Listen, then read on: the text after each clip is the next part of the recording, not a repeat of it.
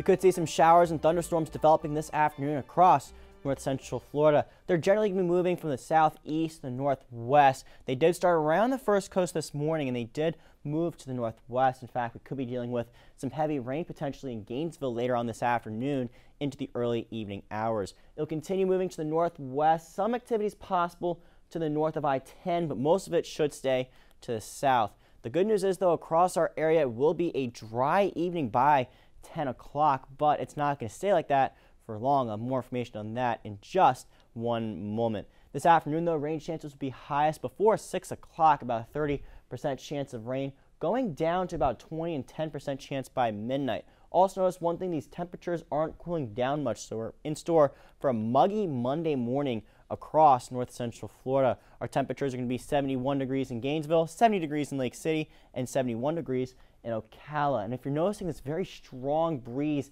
out of the northwest, that's actually that front that's going to be approaching. We have a cold front that's going to be moving through on Monday. I'm going to show you the timetable of when that will be moving through. We're going to start some showers and storms around the nature coast by around 3 o'clock on Monday, and this activity will continue to press to the east, and by Gainesville, 7 o'clock, heavy rain is possible also towards Lake City, and this will continue to press to the east throughout the day, and we could see some lingering activity until about midnight across north central Florida. The good news is, though, behind that front, there's much drier and cooler air, so it's going to start to feel like fall once again across north central Florida. Once again, today will be warm with those afternoon showers and storms possible. They'll become more numerous tomorrow, more widespread Monday, but they'll become stronger. We could see some heavy rain, even some frequent lightning, and even damaging winds can't be ruled out with the strongest of the storms. The good news is, though, Tuesday we dry out and we cool down. In fact, some days we'll see our, our temperatures struggling to reach 70 during the day,